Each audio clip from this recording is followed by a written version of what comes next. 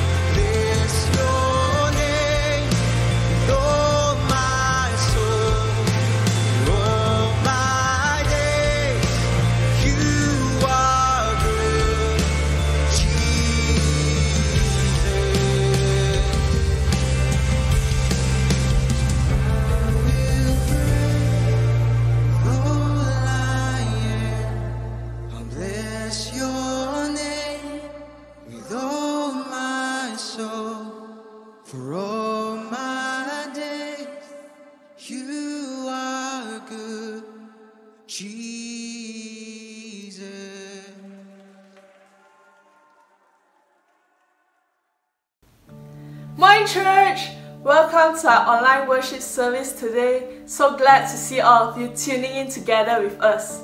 Before we start our service, we just want to take some time to pray for service and also to invite God's presence. So, church, would you join me? And as we and stand, and as we stand, let's begin to lift our voices up to Him.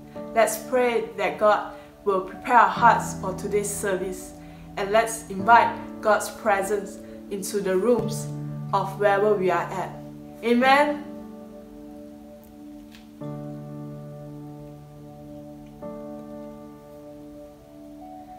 Father Lord, we just want to thank you, Lord God, for the privilege and the opportunity to still meet, Lord, uh, online, even though we may not be able to meet physically, Lord. Lord, we just want to pray, Lord, for, and ask, Lord, will you saturate, Lord, your presence, Lord God, into the rooms, Lord God, of wherever we are at, Lord God. And pray, Lord, may your presence, Lord, today come like a rushing wind and Feel, Lord, filling, Lord God, every corner, Lord, of our rooms, Lord, be it our living room, our bedroom, our houses or flat, Lord.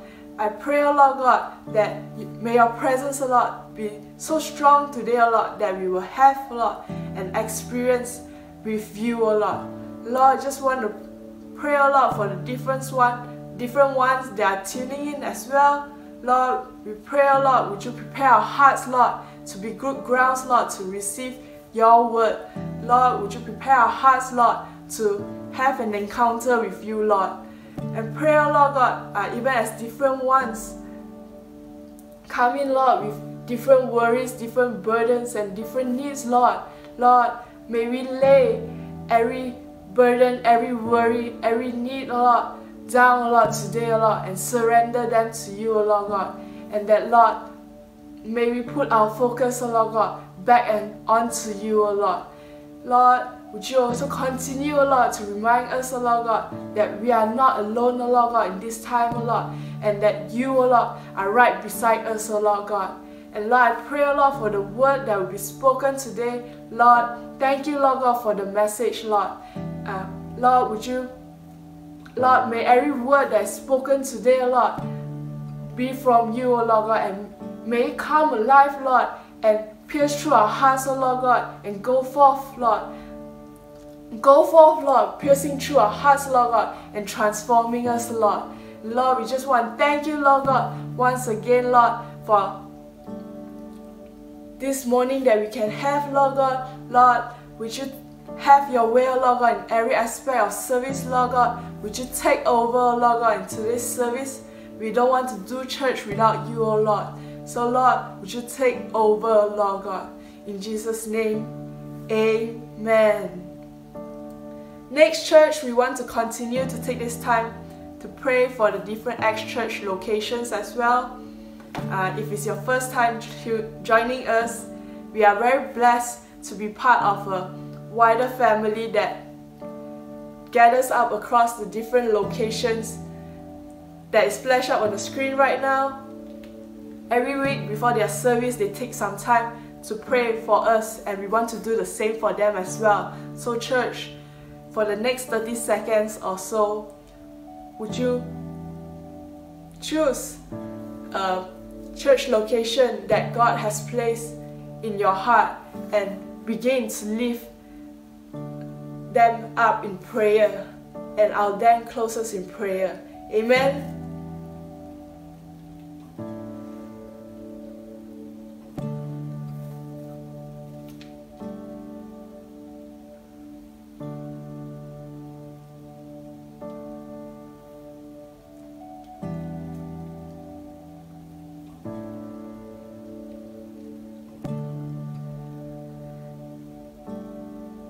Lord, I just want to thank you, Lord, for the privilege, oh Lord, to be part of, of a such global family, Lord. Lord, we just want to commit, Lord, every service that is happening across the different locations, Lord, into your hands, Lord. Lord, would you have uh, your hands, Lord, upon their service? And Lord, may there be an open heaven, oh Lord God, uh, in every service, oh Lord God, that's happening, oh Lord God. Lord, we also want to pray, oh Lord God, for different ones who are tuning in. Lord, would you prepare, Lord, their hearts, oh Lord God, to have an encounter with you, oh Lord. And Lord, just we, Lord, we just want to pray, oh Lord God, for the different leadership teams, oh Lord God, Lord, uh, for them, Lord God, to to have the unity, oh Lord God, to be united, Lord God, as one, oh Lord God, even as they continue, oh Lord God, to build your kingdom, Lord. And Lord, we pray, oh Lord, for wisdom upon the different, wisdom upon every leaders, oh Lord God, every pastors and, and every elders, oh Lord God, and we pray, oh Lord, that even as they continue, oh Lord God, to lead your church, oh Lord God, may it be done, oh Lord God, upon your will, oh Lord. And Lord, we just want to thank you, Lord God, for the provision, Lord, that you have given, Lord, um, throughout these years, Lord God, upon the different church location, Lord. Lord, uh, thank you, Lord, for your faithfulness, oh Lord God. Thank you, Lord God, for your love, oh Lord God. Lord, we pray, oh Lord, and ask, Lord, would you continue, oh Lord God, to provide, oh Lord God, the needs, oh Lord God, of the different, uh, that the different church location has, oh Lord God. And Lord, we also want to pray, Lord, that you continue, Lord, to pour out your blessing upon them, Lord. Lord, that may your love, Lord God, and your peace and uh, hope, Lord God, go with them, Lord God. And I pray, Lord, that they continue, Lord God, to be a blessing, Lord God, to the community, Lord, that you have placed them in, Lord. And we ask this all in Jesus' name. Amen. Church, we're now going to move into a time of praise and worship. So I'm going to pass this time to Sam. Morning, church. Big welcome again to our online Sunday worship experience. Let us all stand. We're going to worship. We're going to praise our God together. You know, the Bible says to clap your hands, all you people, shout unto God with a voice of triumph. And on the count of three, why don't you just lift up a shout of praise to the King of Kings and the Lord of Lords? Amen. One, two, three. Hallelujah. We praise you, Lord.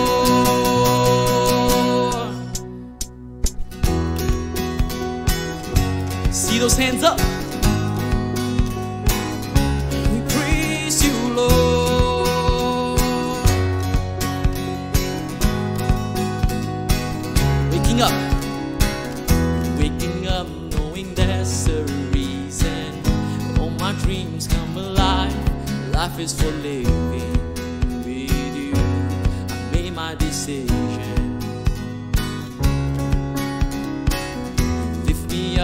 My eyes with wonders. Forever young in your love, this freedom's untainted with you.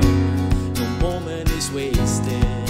See the sun, see the sun now bursting through the clouds, black and white, turn to color all around. All is new in the Savior I am found. This is living now.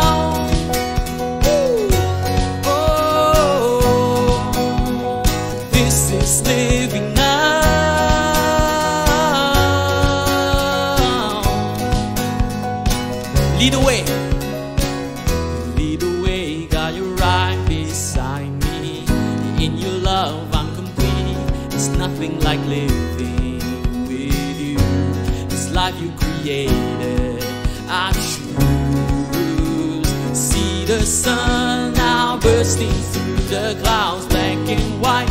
Turn to color all around. All is new in the Savior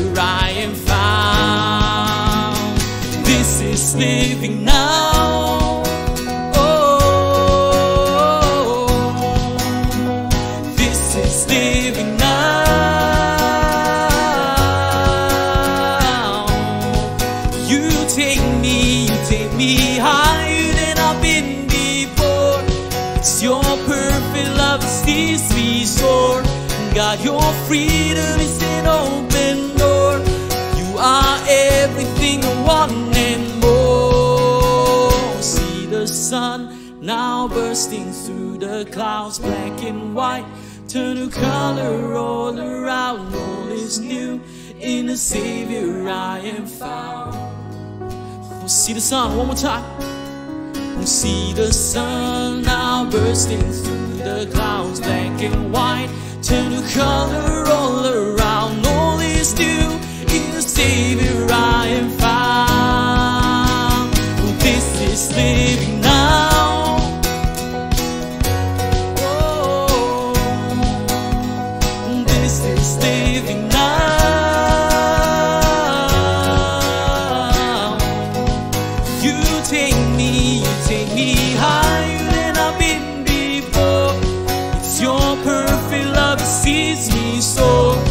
God, your freedom is an open door.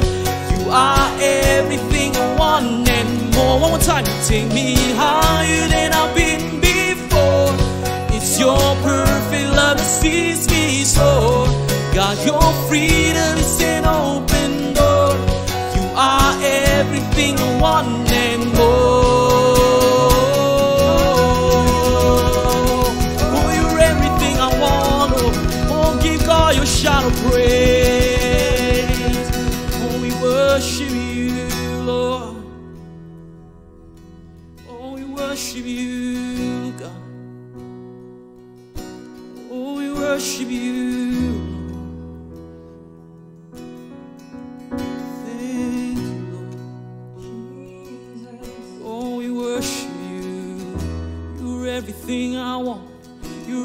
你让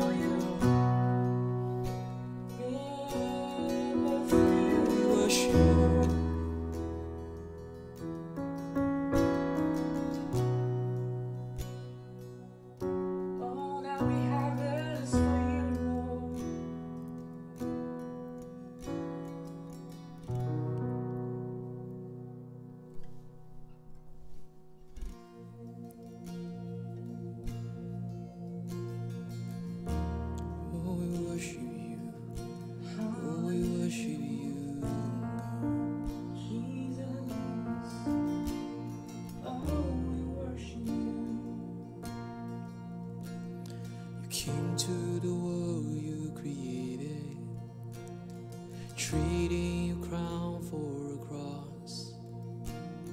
You willingly died, your innocent life paid the cost. Counting your status as nothing, the king of all kings came to serve.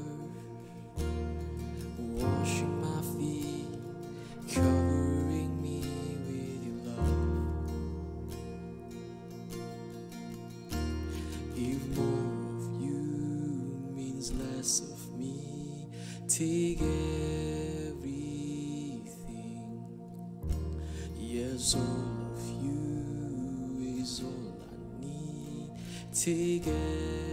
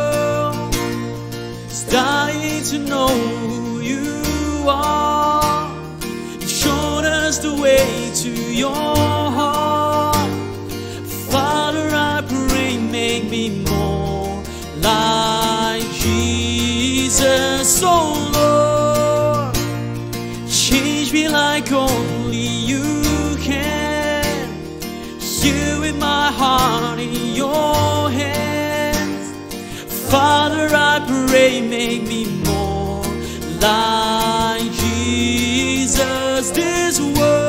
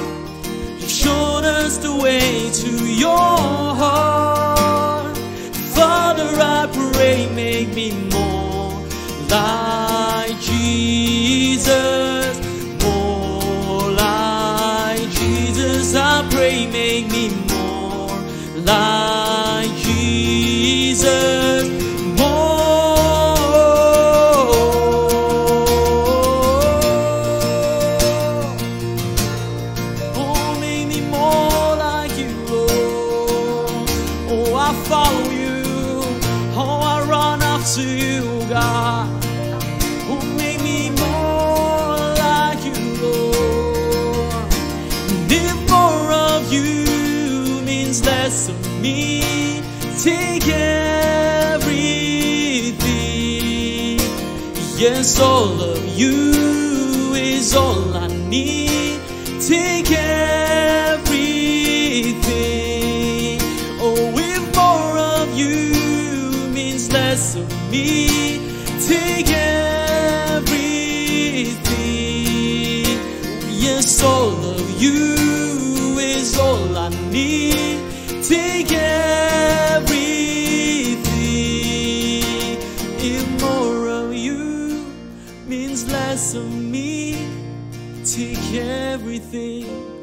everything.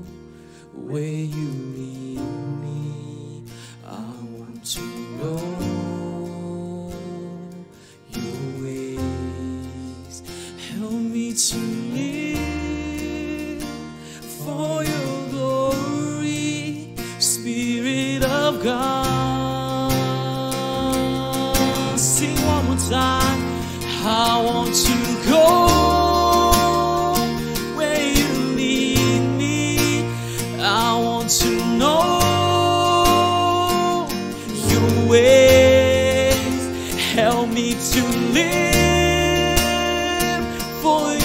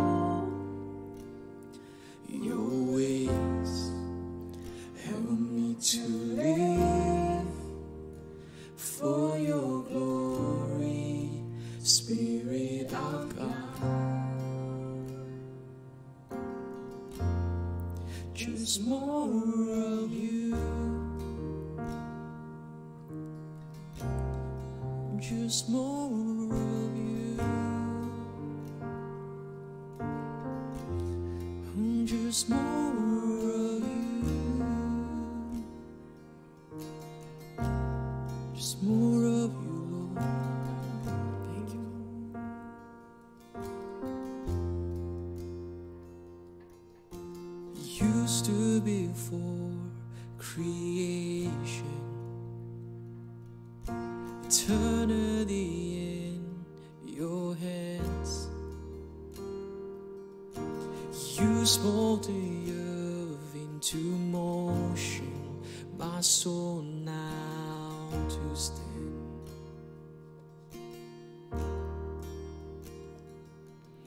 Used to be for my feet.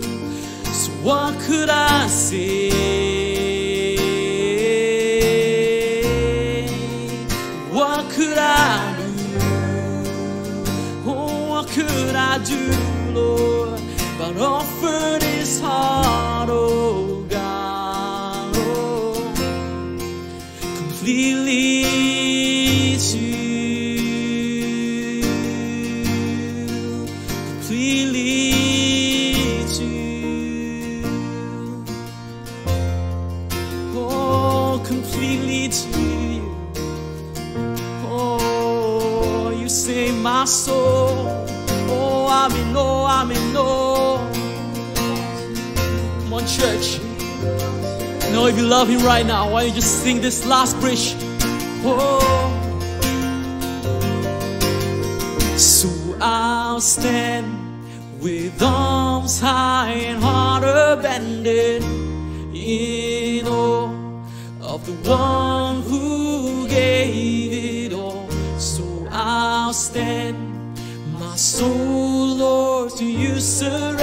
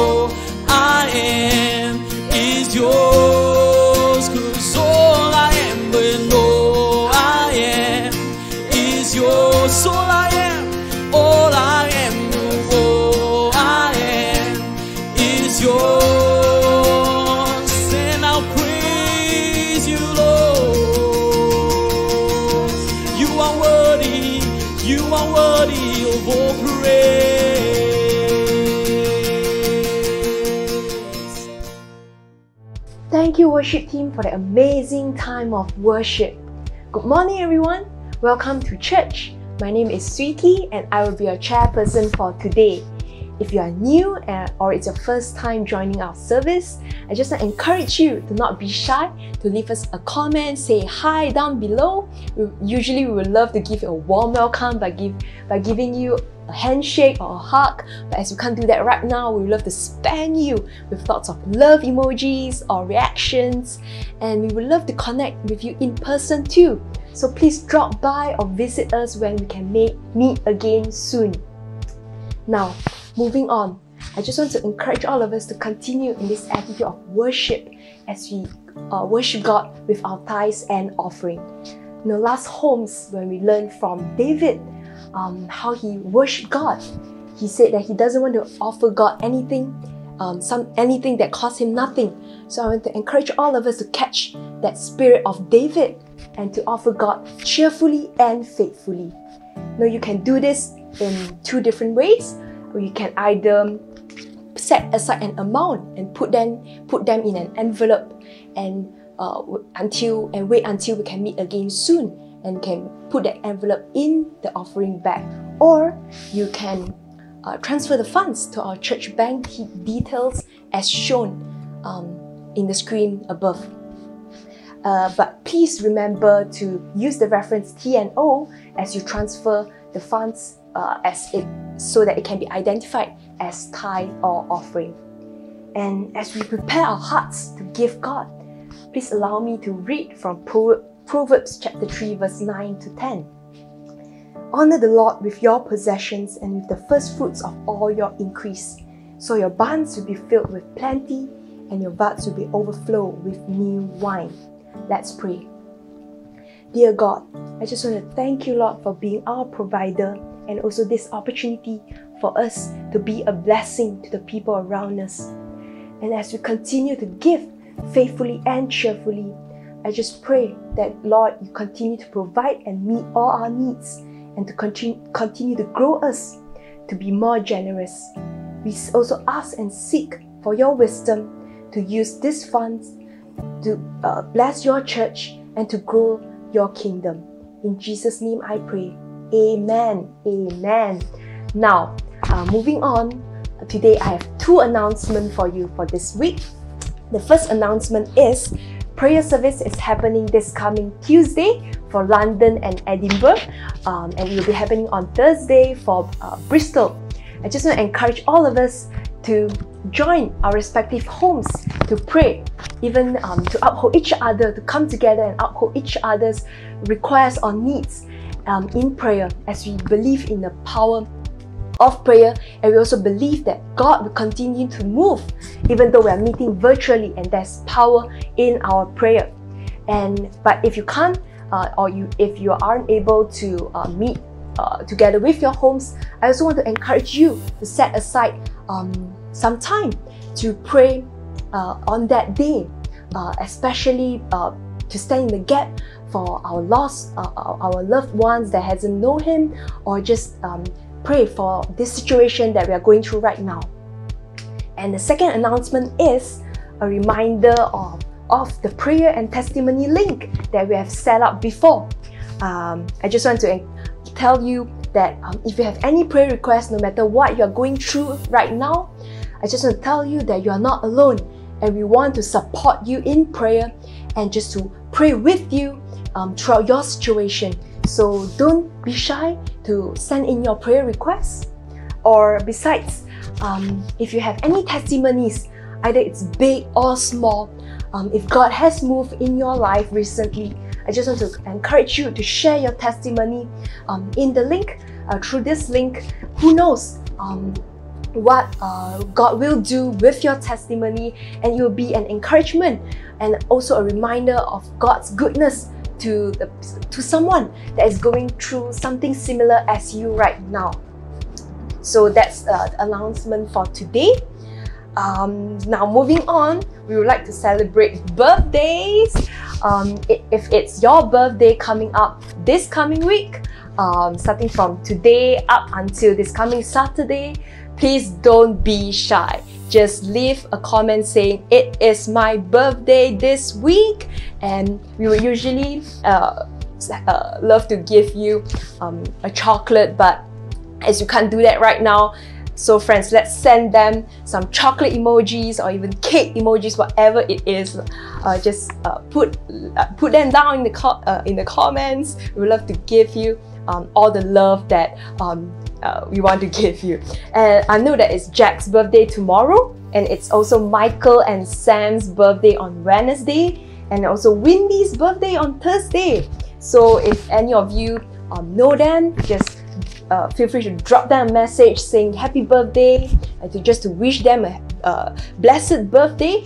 I just pray that all of you will have a blessed birthday this coming week and also to continue to grow stronger in the Lord. Amen. Amen.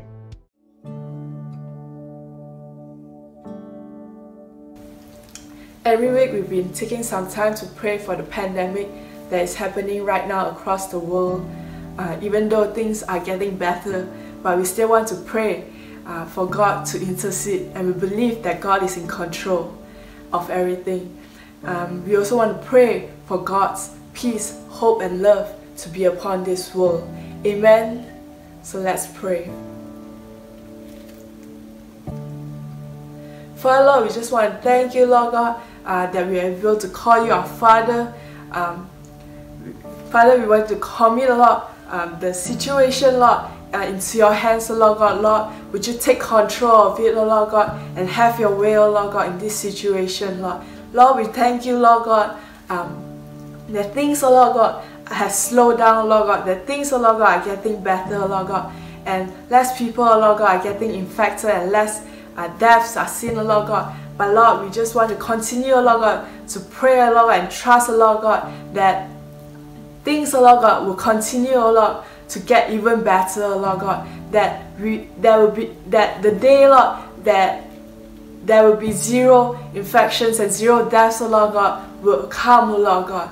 And Lord, um, we thank you, Lord God, for the different, uh, uh, the frontline workers, oh Lord God. Thank you, Lord God, for their lives, oh Lord God. The doctors, um, the nurses, the pharmacists, and other essential workers, oh Lord.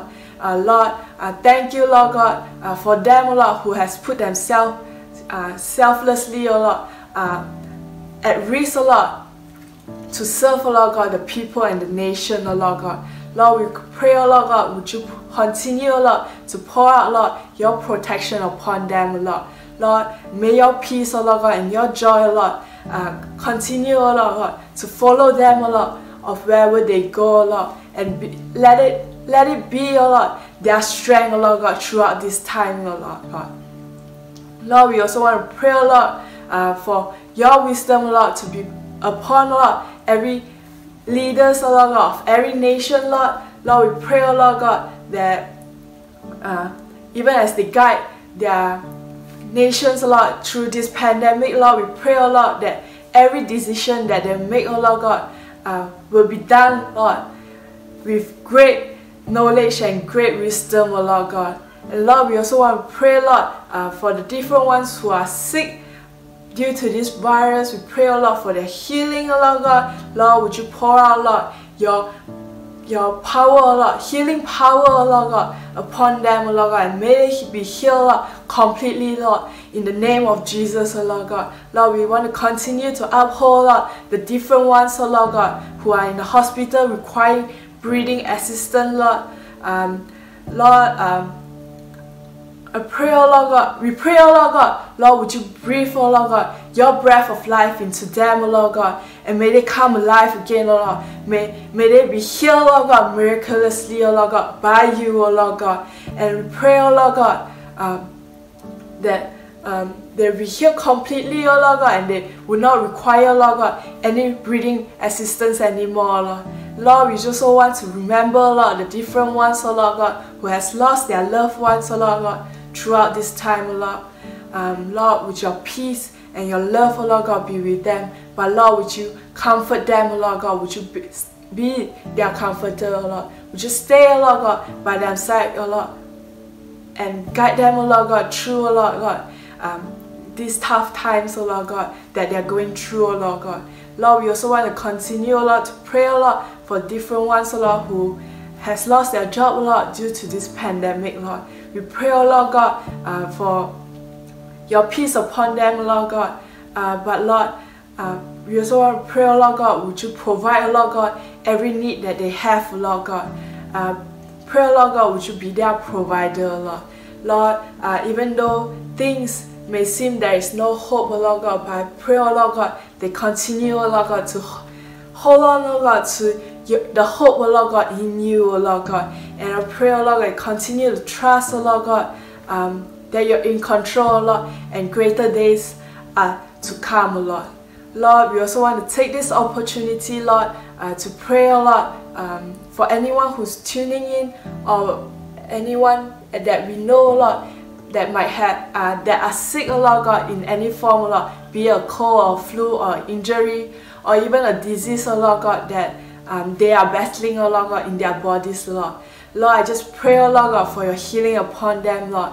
Lord, we thank you, Lord God, um, um, that you, oh Lord God, are a God that can heal, Lord God. And Lord, we just pray, oh Lord God, for your healing power upon them, Lord God. Lord, may they be healed, Lord God, completely, oh Lord God, no matter what sickness, oh Lord God, that they have, oh Lord God, in the name of Jesus, oh Lord God. And Lord, I just pray, oh Lord God, and that we continue and that we believe, oh Lord God, that it will be done, oh Lord God. And that, Lord, they will be healed, oh Lord God, completely, oh Lord God. And Lord, we just want to commit, oh Lord God, everything into your hands, oh Lord God. Lord, um, would you hear our cries and pleas today, oh Lord God, in Jesus' precious name. Amen. You know, church, we are really blessed to have different preachers to speak to us for the past few weeks. And today, I would like to introduce you to someone that we haven't seen in a while. And I hope that you guys miss his message as much as I do. So, church, now let's prepare our hearts to hear from Pastor Dave. Morning, church. It's so good to be in church with all of you guys here again. Thank you so much for joining us for today's service. And, uh, you know, before I get into today's word, I just want to spend some time just giving us a little bit more missions update. And uh, if you've been joining us for the last few weeks, you know that we are gearing up towards a missions offering in July. And we want to take the whole month of June to pray and to seek the Lord for an amount to give. And uh, the last two weeks, I've given us some updates on how our giving, our missions offering collected last year has been a blessing to our churches in Thailand, our churches in Indonesia. And uh, today, I just want to give you an update uh, that uh, we hope that, you know, among some of the things that we can invest into this year is the work in Myanmar. Uh, and I just want to give you just a, a short introduction to Acts Church Myanmar, uh, led by Pastor Samuel, his wife Nini, and they recently welcomed their beautiful uh, young daughter. And uh, you know, they lead a dynamic church there, and this is an amazing church that's truly making a difference you know, growing church, growing people, uh, discipling Christians. And uh, this is an opportunity for us as a church that even as we collect an offering in July for missions, that hopefully some of this missions uh, uh, offering can go towards uh, building up our church in Myanmar. Just to give you a little bit of background, you know, recently with all the lockdown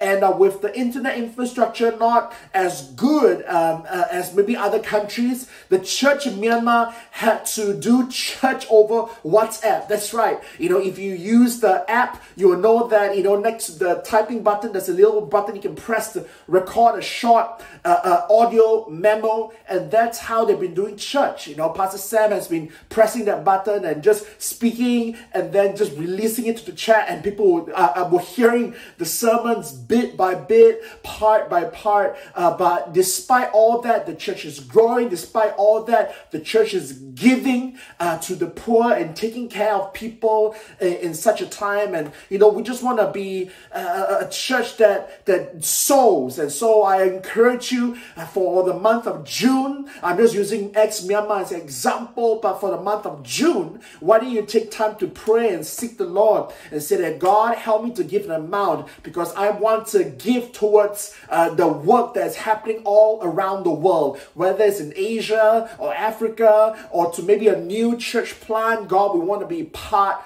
of that. Amen. And so I just want to give you an update on our Acts Myanmar. So even the next time when we do pray uh, for our international church plans, you won't just be thinking, hmm, I don't know much about that church. And hopefully now when you pray, you remember Pastor Samuel, you remember his family, you remember his church congregation there, and through some of these pictures that we've shared with you. Uh, and I hope that that will ignite your heart to pray. Amen.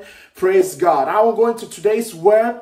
Uh, if you're taking down notes, uh, today's message is titled, you know what? Hold on. Before I give you the title, can I just tell you a funny story? You know, it's been a while since I preached, you know, uh, more than a month actually. We've been highlighting different preachers, different Acts Church coordinators. And of course, you know, last two weeks, we've just been so blessed by Pastor Kenneth. Uh, so maybe I shouldn't rush into it. I gotta learn to pace myself. Let me start with a funny story. You know, recently, um, you know, Pastor Cat uh, bought a bottle of Coke. Uh, we were just having, you know, a typical week. We were just running groceries, uh, and uh, that particular, I think it was a Friday night, we were thinking, hey, why don't we, uh, you know, it's the end of the week, let's do something a little bit special, and uh, so let's let's eat some lamb chops. And so we were preparing. I was like, you know, marinating some lamb chops and, and preparing some mash by the side and vegetables, and we just wanted to have some, you know, good old fashioned lamb chops with potato and veg and uh, Pastor Cat thought that it would be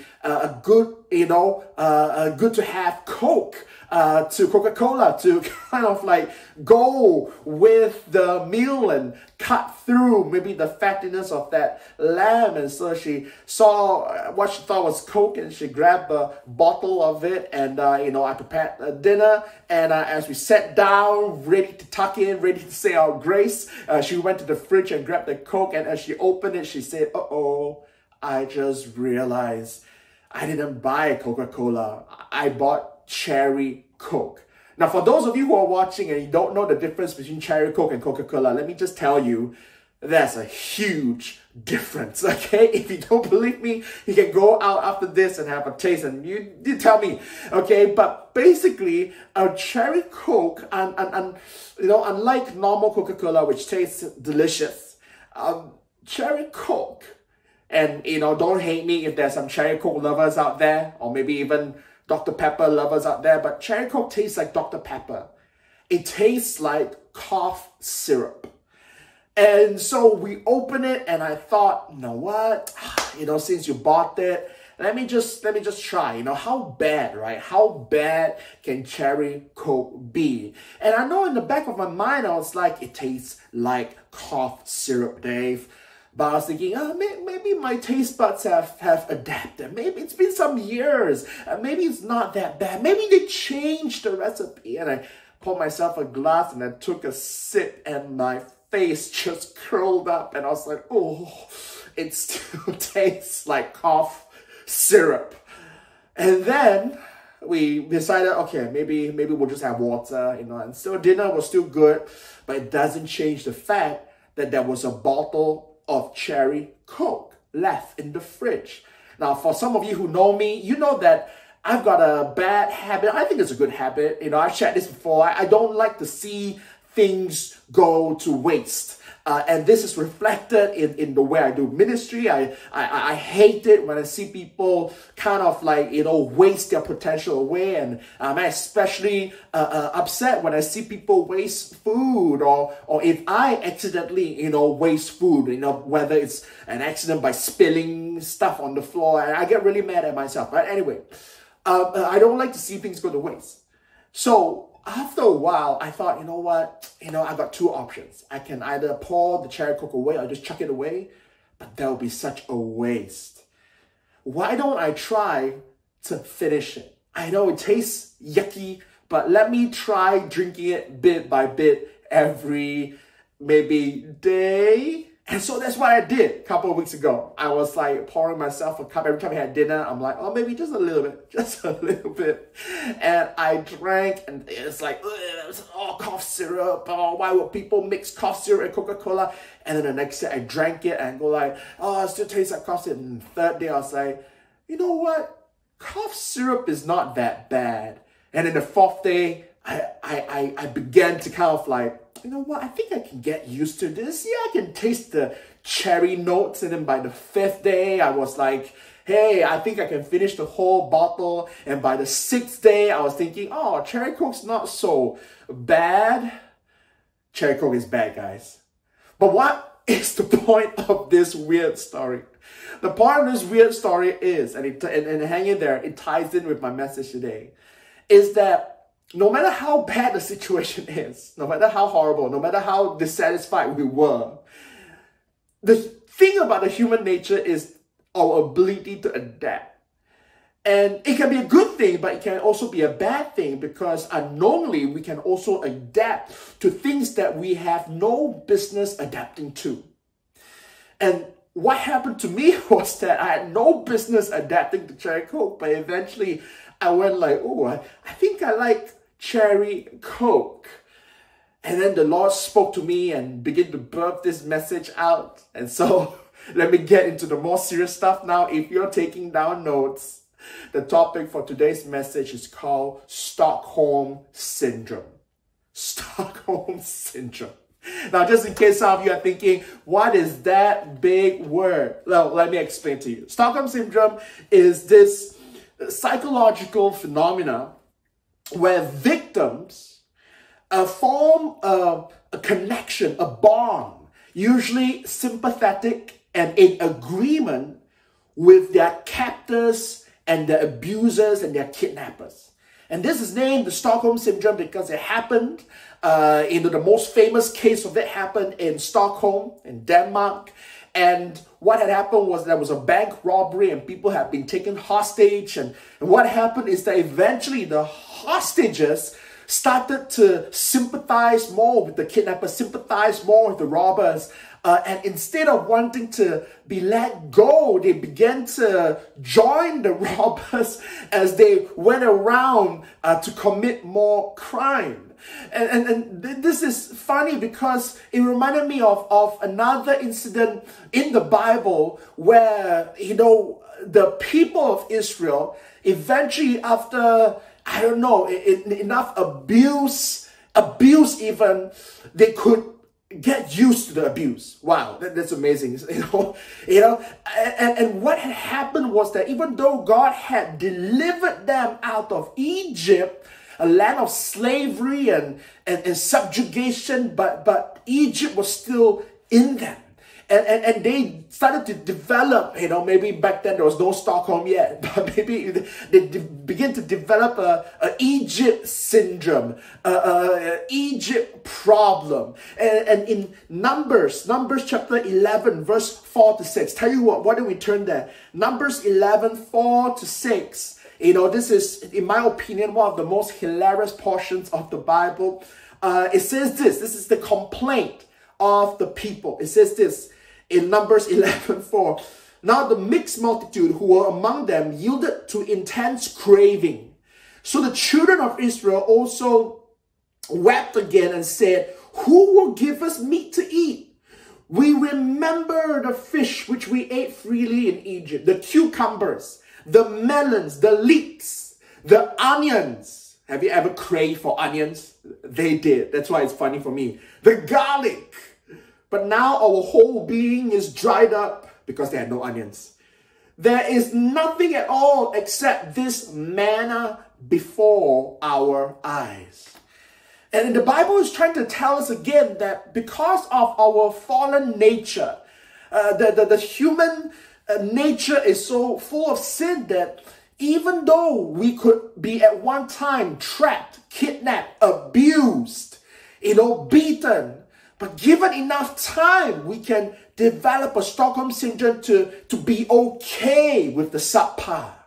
And what had happened was that the children of Israel uh, were slaves in Egypt for 300 years, and then God had set them free. But even in the freedom, they started to long for what they used to have. And it's so funny that in their longing for Egypt, they forgot. They could only think of the fish, the onions, the leeks, the melons, the garlic.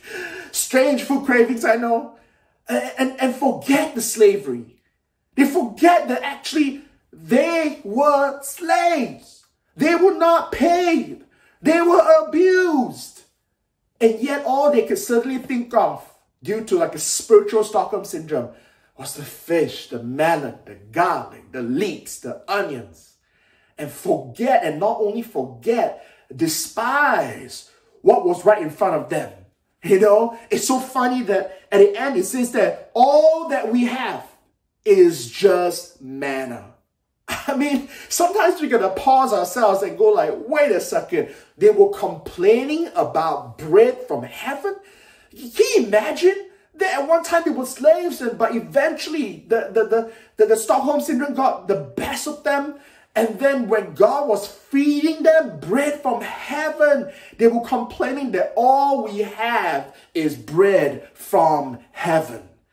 Man, you know, and this started to get me thinking about how uh, we, how corruptible we are, and how easy it is for us to forget the very good things, the very purpose that God has called us out for. God had called his people out of Egypt for freedom, and yet all they could think of is the fish back there. And God was feeding them fresh bread from heaven, and, and, and all they had was complaints. And I started to think that, you know what, with this lockdown that's happening, my hope is that we do not develop a spiritual Stockholm syndrome because the temptation is real. Because if the children of Egypt who were set free, you know, by God through the hand of Moses, through signs and wonders, can forget and begin to sympathize with their years of slavery, what more us? And my hope is that, you know, I know the lockdown is going on and I know that, you know, some countries are easing up, not the UK, unfortunately. and, and, and it's easy for us to get jealous of other countries, maybe Australia, New Zealand. But it's also very easy for us to get used to what we're not supposed to get used to. And there are worse things to get used to than cherry coke. We can actually get used to this new status quo. We can actually get used to the lockdown. I know what you're thinking. You're thinking, no, no, no, nobody is, is getting used to lockdown, but maybe we are not used to staying at home, but there are other things that we can get used to. And my hope today is to help us to you know, be mindful of the reality of Stockholm Syndrome and to fight against the temptation to try to water down our fire. And hopefully, with this reminder, this will also excite you that, hey, this shall pass. This is not permanent. Don't get used to this. There are three things I want us uh, to always have in our hearts or to have again in our hearts, just in case You know, we have been hijacked, our spiritual walk has been hijacked uh, by the lockdown. And these three points I want to give you today all start with the letter F. And the first one is faith. Faith. Don't let this lockdown, don't let this, uh, this season that we're living in rob you of your faith. Now you might be thinking, you know, I, I, I still have faith. I still believe. But what I want to talk to us today goes far more than just believing. My fear is that if we're not careful, because we are right now being locked down, and every day we are feeding ourselves, they can't help it, but you know, we're feeding ourselves with news, with facts and, and with sciences and nothing wrong with all that. But if we're not careful, that can become our new craving. That can become our new appetite. And instead of desiring boldness and courage in God, we can slowly get used to playing it safe. We can get used to comfort. And, and, and I want to remind us again today that God has called us to live by faith, not by sight. You know, in, in 2 Corinthians chapter 5, verse 7 says this, For we live by faith, not by sight. We live by faith, not by news reports. We live by faith, not by what BBC or, or, or the latest medical report tells us. Our feelings are not dictated by the statistics. Our feelings are not dictated um, by the daily government briefings. We are meant to live by faith and not by sight. And what does living by faith mean? And I just feel the strong urge to remind us again living by faith is not just believing. Faith is not just believing. Faith is about devoting our lives to God. Faith can I write it down? As I was drinking cherry coke, the Lord began to speak this message to me. I know that's a strange Genesis, and the Holy Spirit began to form these words. Can I write something I believe is from the Holy Spirit to all of us? Faith is saying, Lord, the good, the bad, the ugly, it is all yours. I am willing to do what you're asking of me. I am willing to change. I'm willing to go. And I don't want us to, in this lockdown, think we have faith, but actually what we have is comfort. You know, faith is not just about tuning in to church online. Faith is not just about having more teaching. Faith is about having courage. You cannot spell faith without courage. Courage to pick yourself up again. Courage to keep going on, courage to believe, courage to hope. Abraham was courageous, so courageous that he left his family when God called him, so courageous that he was willing to sacrifice his son when God commanded it, so courageous that even though he was old and he knew that his body had dried up, he still by faith courageously believed God that through God and in him, God can birth nations. Courage. And I don't want us to confuse comfortable faith with courageous faith. There's only one type of faith, and that kind of faith is courageous. You know, if you don't believe me, let me give you another scripture. This is my favorite scripture. Those of you who've been Acts long enough, you know this is mine. Galatians 2.20 says this, I have been crucified in Christ. It is no longer I who live, but Christ who lives in me. And the life that I now live in the flesh, I live by faith in the Son of God. Let me read that one more time. I live by faith in the Son of God, not live in comfort, not live in safety, not live and have my feelings dictated by the daily briefings. And I, I live by faith in the Son of God who loved me and gave his life for me. I hope that after all this lockdown is done, we won't be afraid to hug people again. I hope that we won't be afraid to engage with people again. You know, I hope that the moment the church is allowed to meet again, that we would cherish every Sunday and rush to meet in person again. You know, because the thing is this, we can get used to fear. We can get used to playing it safe. Maybe you're saying that, no, uh, I've overcome fear, you know, because Pastor Ken has preached an amazing message on overcoming fear. Yeah, yeah, but maybe you've overcome fear, but, or maybe you just changed the name of fear. And now it's called comfort and safe. And my fear, if I can use it that way, is that when we are allowed to meet again, that there'll be many of us who will say that, you know what, I think, I know, I know, I think pastor's being too crazy. I don't think it's safe yet. Let's play it safe. Well, I'm here to remind you, I'm not built. I'm not called by God to play it safe. I'm called by God to live by faith. And don't get me wrong, doesn't mean that I throw my brain out the window. No. When we have to be safe, we have to be safe, but but I still want to have faith. And if it comes between safety and having faith, I will always choose faith. I will always choose what God tells us to do.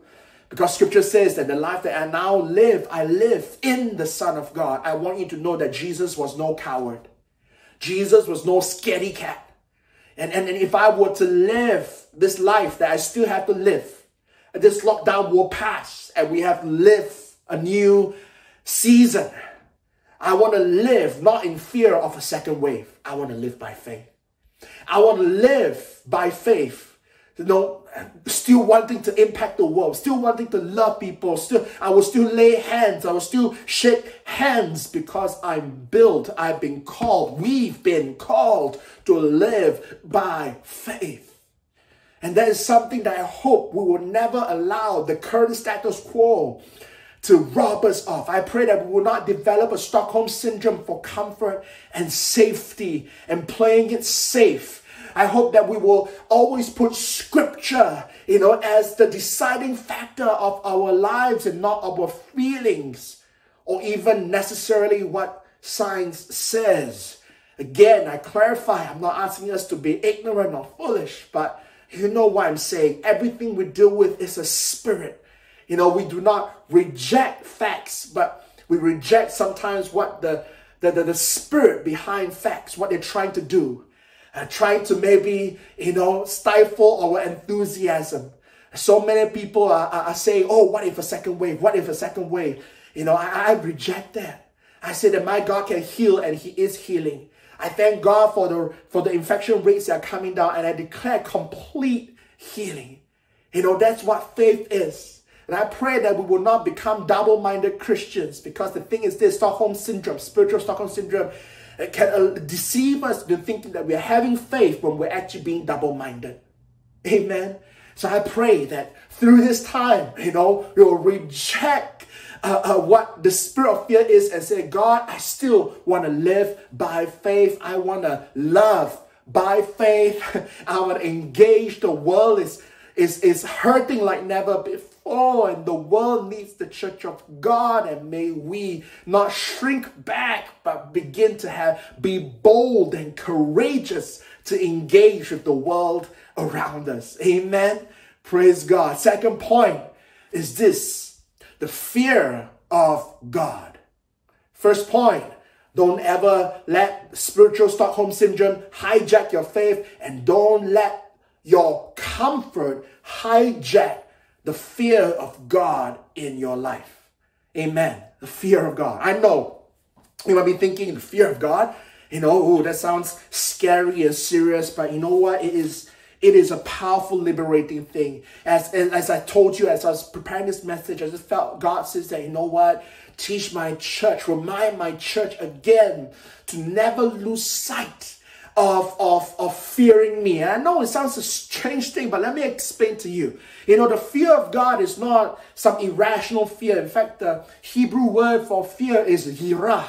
And yirah means to be reverential, to be very respectful, uh, and to be in awe. That means to worship.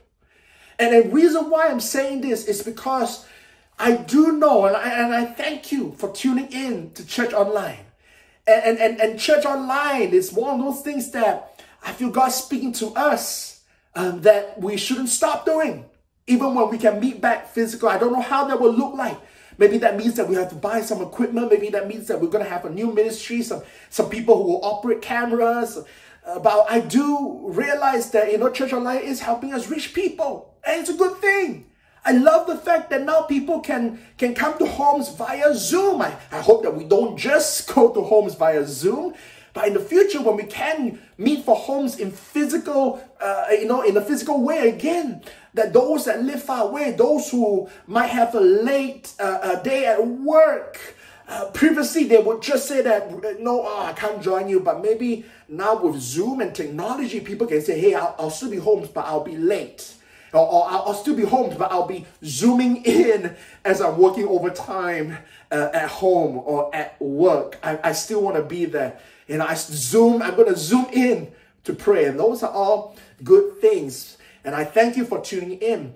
But I, I hope that the casual nature, and let's admit it, church online is more casual. You know, whether you were standing or sitting during worship, I don't know.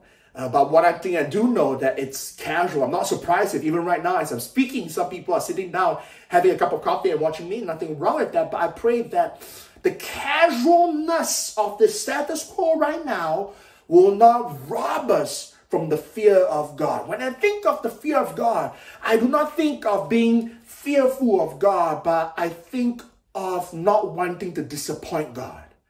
I'm reminded when I think of the word fear of God that God is deserving of my respect. And, and, and, and the word yirah is to be to have reverential awe, to be reverential and to be in awe in worship. And, and I don't want to sour your day, but how was worship today? And I'm not talking about how did the band do. I'm talking about how did you do? Only you know. Did you give your all? Or were you just casually clapping along? Or were you just putting on in the background as you were doing dishes? Or, or, or worse yet, maybe you know you're watching this from the future, not live right now, and and and, and during the worship part, you were just put you worse, you skip through it. because now we're streaming live, you can't fast forward, but maybe you watch it one day later, you can just skip. Let me get to the part that I like.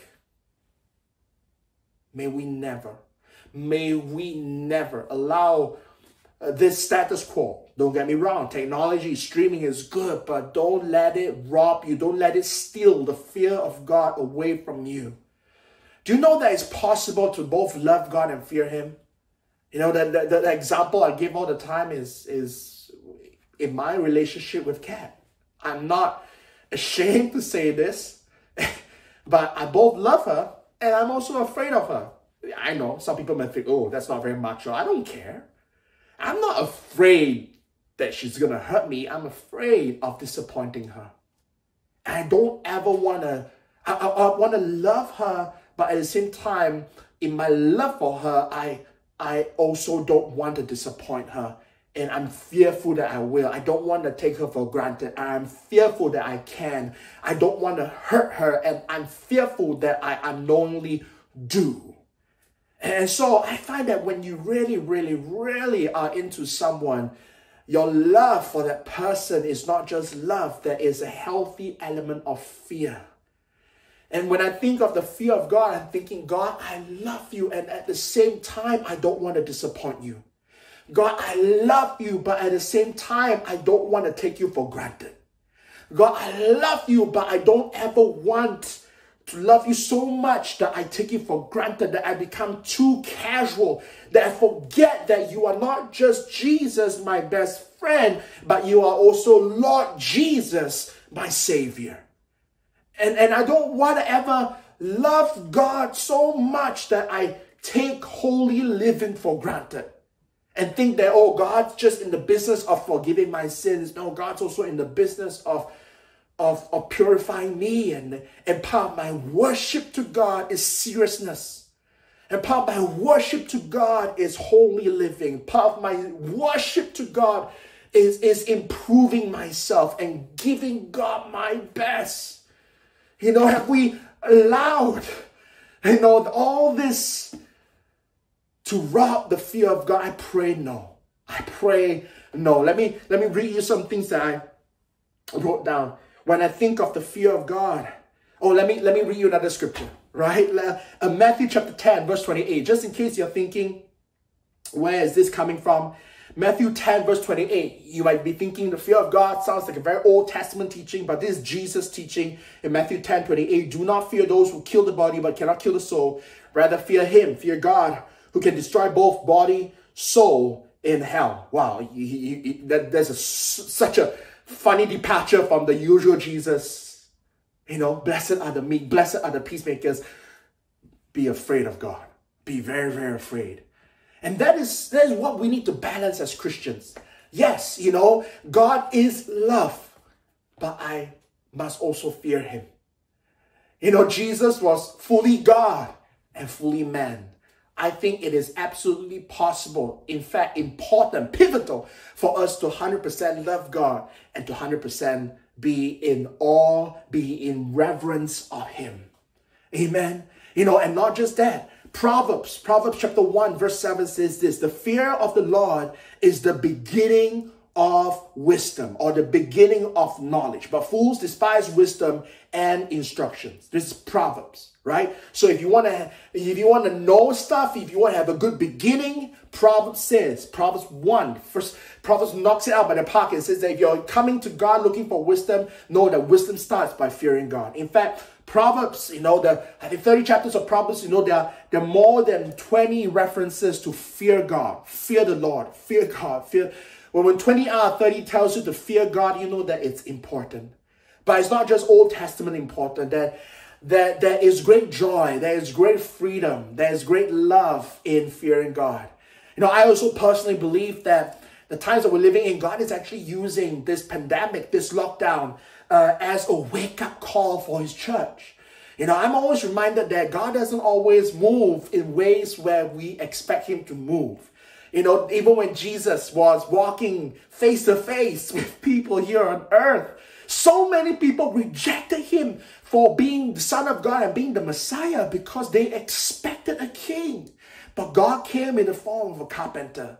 They expected Jesus to be conquering and defeating the Romans, yet Jesus did conquer and he did defeat, but it was a much more evil empire than the Roman Empire. It was called the Empire of Sin and Death. And I'm reminded again that God doesn't always move like how we imagine Him to move. And so, what if? What if we are right now living in the great end times revival, where the gospel is more available than ever before thanks to the internet, where every church is broadcasting information online, where more people are praying than ever before. At least I hope so. You know, what if God is using this as a wake up call? And I do believe it for both Christians and the church to rise up and to begin to repent and begin to reach out. What if God is using the, the, the pandemic to show that science can't be trusted and using the pandemic to show that there's still racial injustice and that all men are sinful and in desperate need of a savior. What if this is the wake up call? What if this is the end time harvest? And when I think of that, I think of the fear of God because when I think of the fear of God, I also think of living life with urgency. And I pray that we will not be so comfortable with just tuning in to church that we forget that we were meant to make disciples, that we forget that, yes, love God with your all. And maybe that's another question. How was your worship? Did you love God with your all this morning? But we also need to love our neighbor. That's, that's the fear of God. To not just do in part, but to do completely. And God says, if you love me, love me your all, and love your neighbor as yourself. I'm reminded again the urgency that we're living in, that we're living in also an age where more people are dying. And death, at least to Christians, shouldn't spark fear because we don't need to be afraid of death. Jesus has paid the price. But we need to have our hearts broken for every life that passes away and a reminder that the time is ticking down and that we need to work while it is still day. Fear of God. Point number three is this. Let me read you. I just I just sat down and I saw something I wrote. Let, let me just finish point number two of this. Do not let the casualness of church online hijack you away from fearing God. Point number three fresh fire. Fresh fire. How do you fight against the Stockholm syndrome? Ask God for fresh fire. Let me write this down. Something that God has spoke to me about. As I told you, um, during this lockdown, not only are we doing church online, but God is also preparing me to believe again, to trust again, to go to Him again for how and what church will look like when we can meet face to face. And I'm reminded by God, it says that the, don't look back. That the, when we can meet again, don't look back and try to recreate what you used to have. And I'm reminded that by this because even with the lockdown happening now, you know, everything is changing. You know, and one of the things that uh, is most changed and most impacted is student ministry. And, and I love reaching out to campus students, and, and we have campus students in all of our church plants here. Uh, but I'm hearing news. Universities are saying we're not sure when are we going to start. Cambridge, Cambridge of all places, is saying that uh, we might just do the first year online. Cambridge.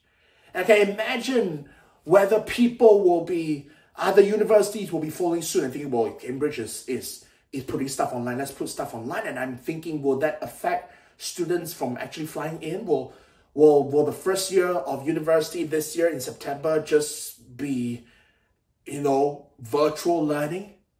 And then people are kind of like tuning in from different countries, even though they're studying in the UK. I can't help but think about this. I can't help but think that, you know, will there be a reduce in students that we can reach out to? And, and will our strategies need to change, etc., etc.? And I'm reminded by God, don't look back. Don't look back at your experience. Don't look back at last year and, and think, how can I recreate last year? Don't look back, look to Him. In fact, don't just look to Him, but God gave me this, and I, I don't want to read it out to you because I feel that this applies not just to me, but to everyone here. The end of the lockdown, I feel the Holy Spirit say, the end of the lockdown is not a finish line. It is the starting line. I'm going to read it all the time. The end of the lockdown is not the finish line. It is the starting line. And God is saying that, you know, it's time to start again. It's time to, to do church differently. It is time to look to me again. It is time to press the refresh button again. It is a starting line. Don't look to recreate what you used to have, but look to creating something new. And then to do that, I got to go to God. To, to, to build God a, a, a, a oh, church 2.0 or church 2020 2.0. Maybe that's what God wants to do this year. I got to go to God. And not just go to God, but I need fresh fire. And so I want to read some scripture. Matthew chapter 9, verse 17. Jesus teaches us this parable, this example about the new wine skin. Nor do they put new wine. Sorry, this is Matthew chapter 9, verse 17. Nor do they put new wine into old wine skin, or else the wine skins break and the wine is spilled, and wine skins are, are, are ruined. But they put new wine into new wineskins, and both are preserved. Not only do we need fresh fire, new wine, but we also need to be new wineskins. And one of the things about fire is that fire purifies and fire reveals. The only positive thing about fire is that it purifies and it reveals. You cannot get gold without fire. You cannot, you, you, cannot. And God is saying that I, I know fresh fire is needed, but I also need my people to be purified by that fire first because new wine cannot be put into old wine skin. Would you allow God's fire to check your heart so that we become new wine skin so that when church reopens again, we're not going forward with old wine skin. The wine skin of lockdown cannot survive the fresh fire of the future. And I want us to use this time because the thing is this Stockholm syndrome can just after a while go like, you know what? You know, why, why can't we, you know, stay the same? And my fear is that after a while, uh, we we just get used to church online and we just want to have it easy and but God is saying no no no no no no what you had, the faith, the growth, the the the the worship you gave God during church on lockdown, that cannot survive when we meet again. God is deserving new praise, new fire, and we gotta be new wineskins. And I'm reminded again in, in the book of Acts, in Acts chapter 2. You go back and read Acts chapter 2. I'm running out of time. But basically, the disciples, after Jesus resurrected, they convened with Jesus, sat at his feet, learned, learned, learned. And when Jesus ascended, they did not immediately rush out to do ministry, even though ministry was important. But they sat there, they gathered and they prayed and they sought the Lord until the day of Pentecost happened in Acts chapter 2. In other words, they did not go forward until they received fresh fire from heaven. And, and, and think about this for a while. What did they have before that? The teachings of Jesus. What did they have before that? Sitting at the feet of Jesus. What did they have before that? Jesus as preacher, teacher, cell group leader, senior pastor. You know, how many of you will feel like I can take on the world if Jesus was your senior pastor? How many of you feel that you're so blessed if Jesus was your home leader? You know, how, how many of you will feel like you are, you are, you know, the, the, you, you, you're the best Christian in the whole world if Jesus is your personal mentor and your personal coach? And yet, despite having all of that, Jesus as mentor, coach, teacher, pastor, preacher, friend, the disciples didn't think of just rushing out there. Instead, they waited for fresh fire, new wine. And not only new wine, but the new wine to transform them. And go back, read Acts chapter 2. Tongues of fire came down, and then boldness entered them. And the Peter that stood up to preach in chapter 2 was a new Peter. That wasn't the Peter that betrayed Christ and ran away. That wasn't even the Peter that fell on his ground and worshiped Jesus. That wasn't even the Peter that Jesus restored. That was the Peter that the Holy Spirit baptized. And so I want us not to let the current status quo create some sort of false sense of security and comfort zone around us and hijack our spiritual walk. But let's begin to say, God, God, I, I, I thank you for the grace that you've given us in this time of lockdown where we can still meet in church, that I can still serve, I can still receive. But God, I want faith. God, I want faith, fresh faith. Faith that says to the future, future, I'm not afraid of you. Future, whatever comes, the good, the bad, the ugly, God, I know it's all from you. And I'm going to go out there and love the people I need to love and, and hold the people I need to hold and do what I need to do. And we want to be people that fear God. People who will not take, never take God for granted, never take His love for granted, and people who will act with urgency. People who fear God enough to go like, maybe this is what God has been preparing me for. So I'm going to go out there and going to do my part to bring in the end time harvest. And of course, fresh fire. Fresh fire. Don't forget the new season ahead of us is not the finish line, it is the starting line. And that starting line needs new fire in your bones to ignite you so that we can run. Remember the life of the disciples. They had Jesus, and it's great to have Jesus, but they sat until they had fresh fire from heaven, from the Holy Spirit. And then the world was truly never the same again. If that is God's formula, then it is God's formula now. And I pray that we will we will rise up as a church. Amen. Amen. Praise God. Would you allow me to pray? Thank you, Lord. Lord, I thank you for all that you are doing. And Lord, I pray right now that you will you would remove this spiritual Stockholm syndrome. You would you would not allow uh, the current status quo to make us too comfortable. Help us not to love that which is passing, but help us to love you and to desire the new. Lord, help us to not forget faith. Help us not to be so comfortable checking the statistics, checking the facts, following the, the, the, the orders given by the news that we forget what it really means to live by faith. Help us not to let our emotions continue to be hijacked by the stats, but help us to live by faith. Help us to live with a healthy fear of you. Help us to love you and fear you and fear disappointing you. Help us to live with urgency and, and, and realize that what's happening right now is a wake up call from you. And Lord, we don't want to be a church that slumbers we want to be a church that's awake, a church that's on the watch, a church that fears you and desires to honor you. And last but not least, Lord, help us, Lord, to desire fresh fire. Give us fresh fire. Fresh fire.